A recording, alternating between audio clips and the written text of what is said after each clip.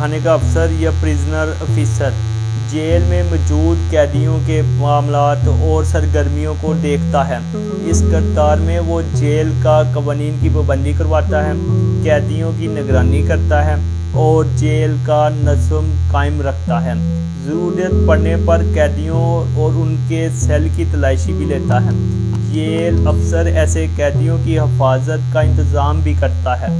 जिन्हें किसी दूसरे कैदी से खतरा हो। चनाचा कैदियों को नकलो हरकत और उन पर कड़ी नज़र रखता है। तजर्बे के साथ वो नया अमला भी भर्ती करता है और या उसके कोई ख़ास हिस्से की भी निगरानी करता है। जेल, कौमी या सबाई हुकूमतों की सरपरस्ती में चलते हैं। जेल अफसर बनने के लिए आपको उसी मुल्क का शहरी होना चाहिए। इंतखब के लिए ज़रूरी है कि आपकी उम्र 18 साल या जायद हो और कई जिसमानी और जहनी इम्तहान पास कर चुके हों। बुनियादी तरबियत अमूमन कई हफ़्ते चलती है। तरबियत और तजर्बे के बाद आप अगले ऑटो तक जा सकते हैं या चाहें तो किसी मुतलका शोबे, मसलन काउंसलिंग या बहाली में अपनी खिदमत अदा कर सकते हैं। बाज़ अफसरान जेल में कैदियों को मुख्तलिफ़ महारतें सिखाते पर ममूर होते हैं। ताकि ये कैदी जेल से निकलने के बाद माशरे के मफीद शहरी बन सकें।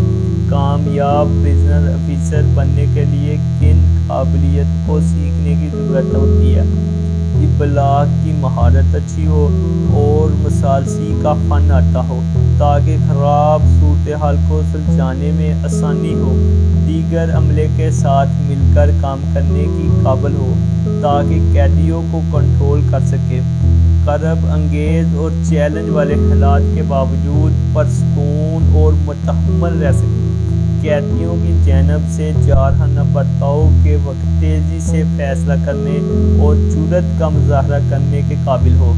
तहकीकी नज़र रखता हो, ताकि जेल में होने वाले किसी गैर मामूली सरगर्मी और बर्ताव से फौरी आगाह हो सके।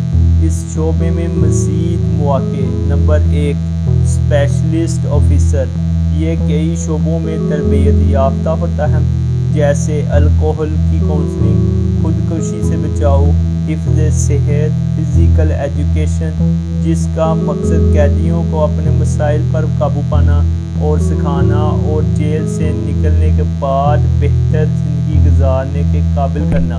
नंबर दो, सीनियर ऑफिसर।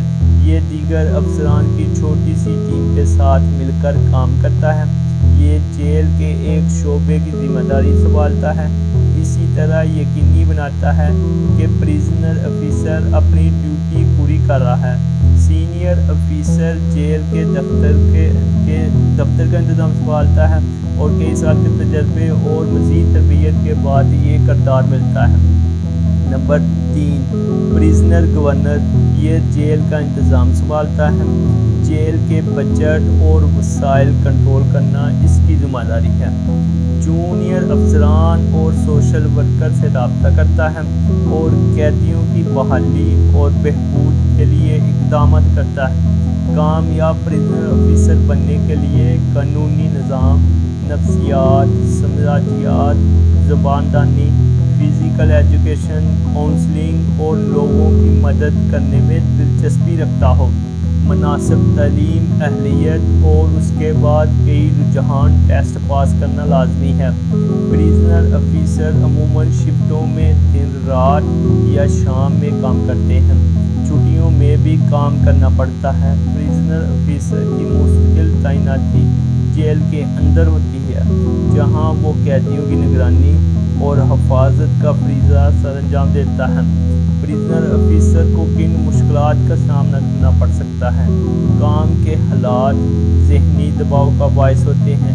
उसे जारहाना मजाज रखने वाली कैदियों से निपटना पड़ता है। और उनके आपसी झगड़े हल करना पड़ते हैं। इस वीडियो में दी गई मालूम इंसाइक्लोपीडिया कैरियर से ली गई हैं।